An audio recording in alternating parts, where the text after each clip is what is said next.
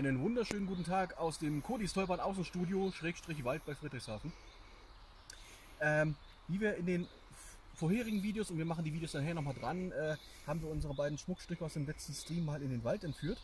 Unseren Challenger 2 und unseren Königstiger. Beide äh, in der Toro Pro Edition mit Metallketten, mit Metallgetriebe und mit Metallantriebsrädern. Ähm, wie gesagt, vor, vor, dem, vor diesem Video läuft das und hinter dem Video läuft das auch nochmal. Da könnt ihr das auf alle Fälle nochmal gucken. Wenn ihr Fragen habt, die üblichen Kanäle zu den Produkten sind bei uns im Shop verfügbar. Beide für einen moderaten Preis und beide kurzfristig lieferbar.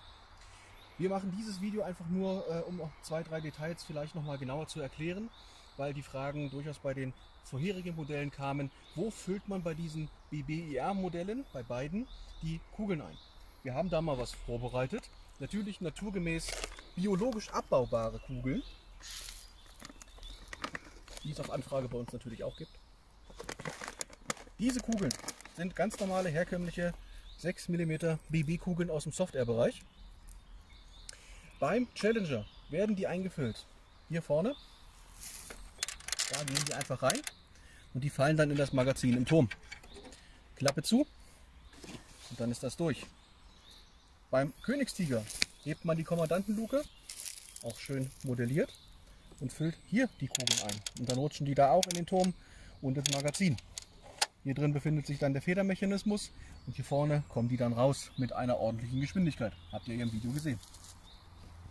Ansonsten beim Challenger kommt hier noch der Infrarotsensor drauf, den haben wir jetzt für Vorführmodelle erstmal noch nicht montiert, kommt aber die Tage noch, der ist auch, da fehlen noch die ganzen Accessoires, da sind wir uns noch nicht einig gewesen, was wir direkt montieren. Wie er dann final aussehen soll, haben wir auch noch nicht beschlossen. Fakt ist aber, der bekommt nicht die Originalmarkierung ähm, von, von den Kafergruppen und nicht von den Briten, sondern das wird eine Kodis Täuber und Spezialedition. Da müssen wir noch Aufkleber entsprechend erstellen und bestellen, dass wir dann noch hier und links und rechts und überall noch einen Kodi-Kopf drauf machen. Beim Königsticker wird es ähnlich werden. Ansonsten sehr, sehr schöne Modelle. Wir haben hier das Gelände ein bisschen mal ausgiebig ein bisschen erkundet. Wir werden jetzt gleich nach dem Video noch ein bisschen Spaß haben hier. Ähm, bisher sehr, sehr guter Eindruck, sehr stabile Konstruktion. Äh, kann man bedingungslos ähm, empfehlen.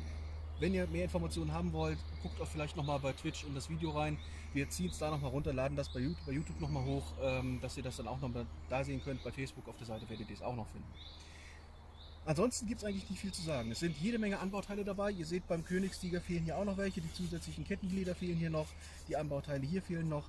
Ähnlich wie, es beim Challenger ist. Wie gesagt, wir sind noch nicht hundertprozentig sicher, was wir da anbauen wollen. Wir werden das aber mal provisorisch feststecken und dann mal Fotos noch dazu liefern, dass ihr seht, was da möglich ist und was an Zubehör dabei ist, dass ihr dann auch informationsmäßig nicht auf dem Trockenen sitzt. Ansonsten gibt es dazu nicht viel zu sagen. Beide Modelle wirklich ausgestattet mit einem Soundgenerator, mit einem sehr schönen Soundgenerator, mit verschiedenen Lautstärken, mit einem Rauchgenerator. Leider kein Kanonenrauch, aber die rauchen halt hier hinten raus. Ein Königstiger hier und der Challenger ähm, ist artgerecht auch hier aus den beiden ähm, Abgasöffnungen. Ähm, Wunderschönes Modell. Ähm, keine Metallweine, alles Kunststoff, aber die Ketten aus Metall, das reicht ja dann erstmal. Für den Preis absolutes Schnäppchen.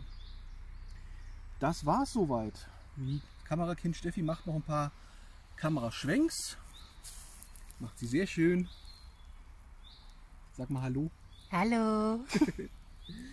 Nein, und die Modelle könnt ihr bei uns haben und äh, wir werden in Zukunft da auch ein paar äh, Features mitmachen mit, mit anderen Modellen. Wir werden ähm, in, in, der nächsten Zeit vielleicht nochmal einen T72 dazu bekommen. Wir werden auf alle Fälle den Leo 2A6, wenn er, wenn er verfügbar ist, dann noch in, auch nochmal hier in, im Gelände entsprechend zeigen und äh, fahren. Und wir werden dann nochmal, ähm, wenn wir das dann mit Stativ und so weiter hinbekommen haben, beide Fahrzeuge mit dem Infrarotmodus auch nochmal gegeneinander antreten lassen, dass ihr dann auch nochmal seht, wie das funktioniert.